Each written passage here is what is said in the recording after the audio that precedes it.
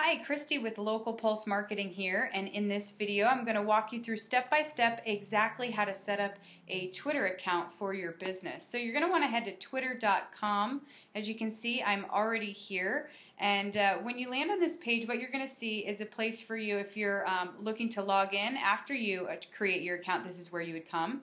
Um, but since we haven't created an account, we're going to fill out our full name, email, and password so we can go ahead up go ahead and sign up for a new Twitter account for our business. And since this is a business account, what you want to think about doing for the full name is your business name, and that's actually what I'm going to uh, go ahead and set up here uh, for a client. The email address that you would like to be associated with the Twitter account um, be thoughtful about this because you are going to get a confirmation email from Twitter uh, sent to this specific email account. And of course, as always, when you type in your password here, be sure to write it down in a safe place. That way you can remember it. You're going to need it to log in. All right, once you've done that, click the sign up for Twitter button and you're going to be delivered to this page.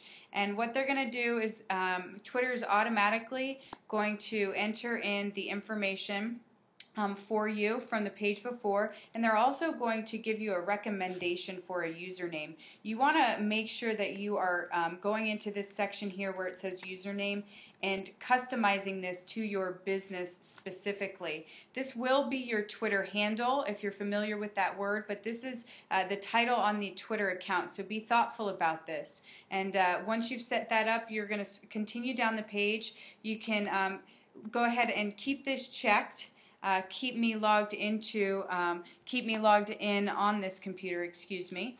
And then uh, you can go ahead, um, I'm going to actually untick that, but um, go ahead and read through the terms of service and also the privacy policy here. You can also click on these links off to the right that are in blue in order to read that um, as well. So once you've read that and agreed to all the terms and services, you're going to go ahead and click create, uh, create my account and I'm getting prompted to go ahead and make sure that I'm a human being. This is just a CAPTCHA code and so um, they're asking me to fill this information out to make sure that again I'm a human. So I am going to follow their directions here. All right, so guys, um, we have successfully uh, created an account and what uh, what Twitter's actually going to do is they're going to walk you through a wizard. So um, you're going to click the, the next button to go ahead and get started with the wizard. So I'm going to do that now.